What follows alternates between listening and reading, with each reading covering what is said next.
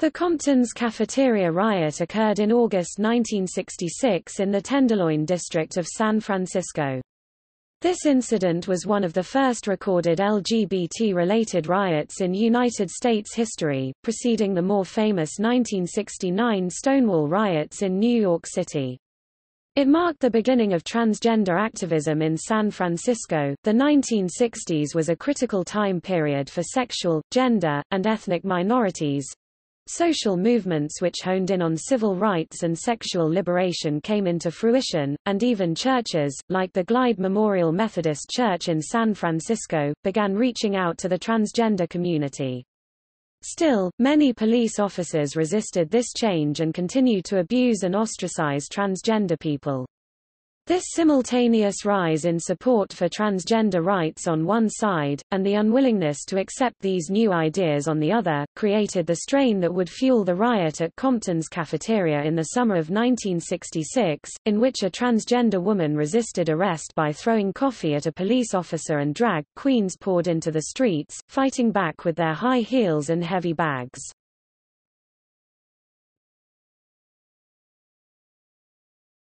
Topic. Background Compton's Cafeteria was one of a chain of cafeterias, owned by Gene Compton, in San Francisco from the 1940s to the 1970s. The Tenderloin location of Compton's at 101 Taylor Street at Turk, open from 1954 to 1972, was one of the few places where transgender people, especially trans women who had spent a long evening hustling, could congregate publicly in the city, because they were unwelcome in gay bars due to transphobia. Compton's management and staff, in an effort to deter drag queens and trans women, would frequently call the police when they were present causing them to be harassed and arrested for a crime called female impersonation. The cafeteria was open all hours until the riots occurred. Most of the fights occurred from 2 to 3 a.m. so they were forced to close at midnight. Because cross-dressing was illegal at the time, police could use the presence of transgender people in a bar as a pretext for making a raid and closing the bar. Many of the militant hustlers and street queens involved in the riot were members of Vanguard, the first known gay youth organization in the United States founded in 1965, which gained the help of radical ministers working with Glide Memorial Church, a center for progressive social activism in the Tenderloin for many years. A lesbian group of street people was also formed called the Street Orphans, a number of the women that Susan Stryker interviewed for the film, who were all members of the transgender community in the Tenderloin district during the time of the riot at Compton's cafeteria, were involved in street prostitution. Among these women was Tamara Ching, who is now a sex workers' rights activist. They ended up in the profession, many of them lamented, because they faced job discrimination.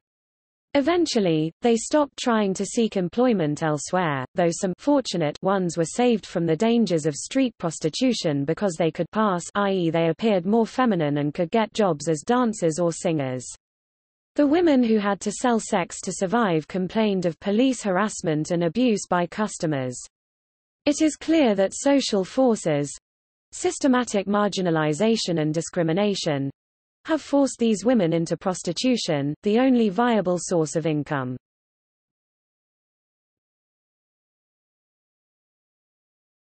Topic. Cause of the riot In the 1960s the Compton's cafeteria staff began to call the police to crack down on transgender individuals, who would frequent the restaurant. Management felt that transgender customers were loitering and causing them to lose more desirable business. In response, they implemented a service fee directed at transgender individuals and blatantly harassed them in an attempt to get them to leave the restaurant. In response to police arrests, the transgender community launched a picket of Compton's cafeteria. Although the picket was unsuccessful, it was one of the first demonstrations against police violence directed towards transgender people in San Francisco. On the first night of the riot, the management of Compton's called the police when some transgender customers became raucous. In the 50s and 60s police officers were known to mistreat transgender people. When one of these known officers attempted to arrest one of the trans women, she threw her coffee in his face. According to the director of Screaming Queens, Susan Stryker, the cafeteria erupted. At that point the riot began, dishes and furniture were thrown, and the restaurant's plate glass windows were smashed. Police called for reinforcements as the fighting spilled into the street, where a police car had all its windows broken out and a sidewalk newsstand was burned down. Dozens of people fought back against the police who forced them into paddy wagons. The next night, more transgender people, hustlers, Tenderloin Street people, and other members of the LGBT community joined in a picket of the cafeteria, which would not allow transgender people back in. The demonstration ended with the newly installed plate glass windows being smashed again. The exact date of the riot is unknown because 1960 police records no longer exist and the riot was not covered by newspapers.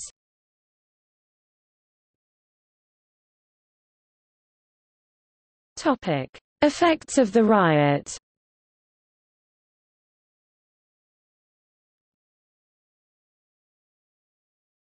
Topic: Vanguard street actions.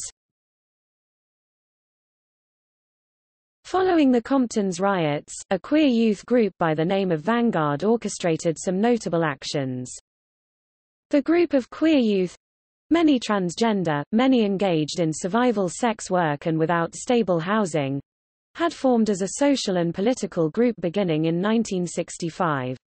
They initially formed under the Glide Memorial Church, a radical offshoot of the United Methodist Church. Vanguard's politics highlighted the issues facing gay and transgender youth in the 1960s produced radical insights into the connections between economic class, police violence, incarceration, and homophobia. In early autumn of 1966, Vanguard hosted a historic street sweep in response to the events at Compton's.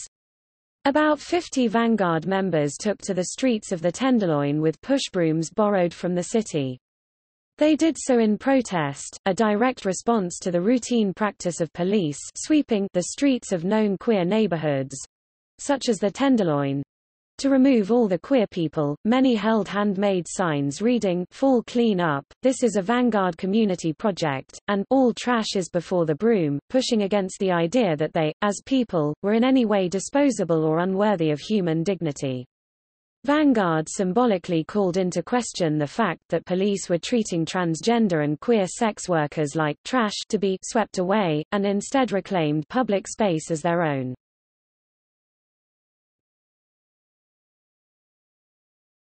Topic. Later effects of the riot The riot marked a turning point in the local LGBT movement. According to the online encyclopedia glbtq.com, in the aftermath of the riot at Compton's, a network of transgender social, psychological, and medical support services was established, which culminated in 1968 with the creation of the National Transsexual Counseling Unit NTCU, the first such peer-run support and advocacy organization in the world. Felicia Flames Elizondo, who participated in the Compton's riot, spoke at a celebration of the 50th anniversary of the Compton's cafeteria riot. She said, A lot of people thought we were sick, mental trash, says Elizondo, who underwent gender reassignment surgery in 1974. Nobody cared whether we lived or died. Our own families abandoned us and we had nowhere to go. It was dangerous for queer folks to exist back in 1966 as there were no equality laws and LGBT people were considered perverts and mental cases. Furthermore, transgender people found themselves locked out of most respectable jobs and were often forced to turn to prostitution to survive.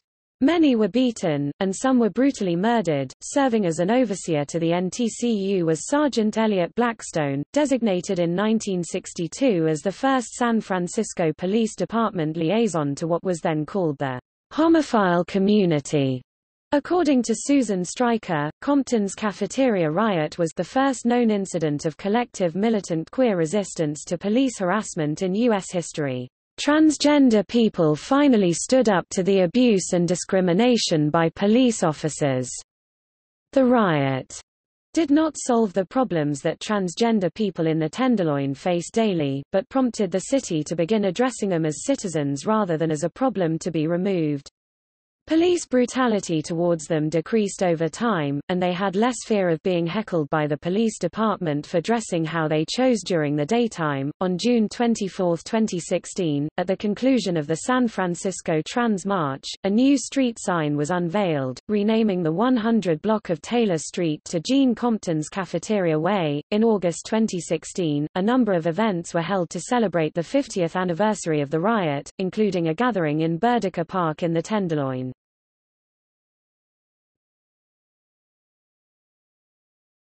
Topic. See also. List of pre-Stonewall LGBT actions in the United States. Stonewall riot. Cooper Do Nuts riot. Notes